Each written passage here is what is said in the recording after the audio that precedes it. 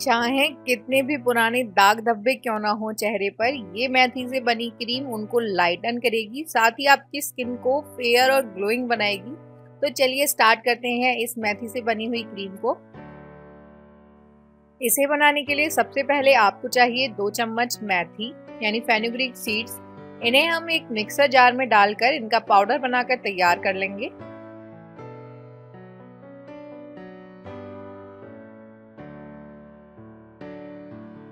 तो मैंने मेथी का जो पाउडर है वो बनाकर तैयार कर लिया है। मैंने इसे छाना नहीं है, थोड़ा दरदरा ही रहने दिया है, आप देख ही सकते हैं।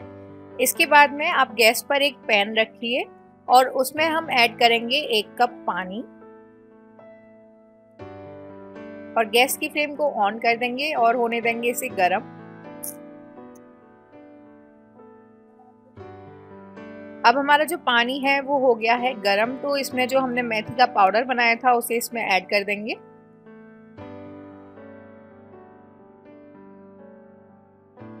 और अब इसको जब तक पकाएँगे, जब तक के ये अपनी क्वांटिटी का आधा नहीं हो जाता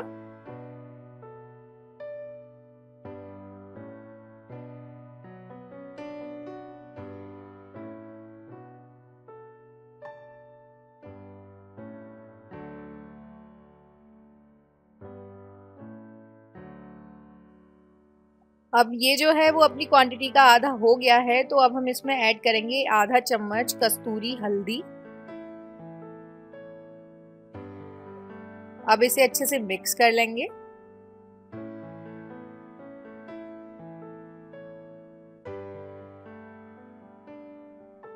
और अब बस इसको मीडियम फ्लेम पर हम पाँच से सात मिनट तक पकाएँगे। और पाँच से सात मिनट के बाद में आप देखेंगे जो इसकी क्वांटिटी है वो और ज़्यादा कम हो गई है। तो अब हम गैस की फ्लेम को ऑफ़ कर देंगे और इसे ठंडा होने के लिए ऐसे ही छोड़ देंगे। और जब ये ठंडा हो जाएगा, तब हम एक छलनी की हेल्प से इसे छान लेंगे।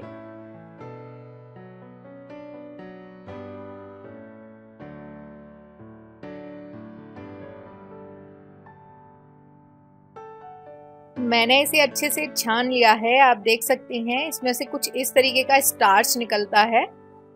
अब इसके बाद में आपको क्या करना है? इसमें ऐड करना है तीन से चार चम्मच गुलाब जल। और फिर इसको हल्का सा मिक्स कर लेना है। और फिर इसमें ऐड करना है दो चम्मच एलोवेरा जेल और इसे फिर से अच्छे से मिक्स कर लेंगे, जब तक कि ये क्रीम की फॉर्म में नहीं आ जाता। तो हमारी जो क्रीम है, वो हो गई है बनकर तैयार। तो अब आप इसे किसी भी कंटेनर में, यानी एयर टाइट कंटेनर में फिल करके रख लीजिए।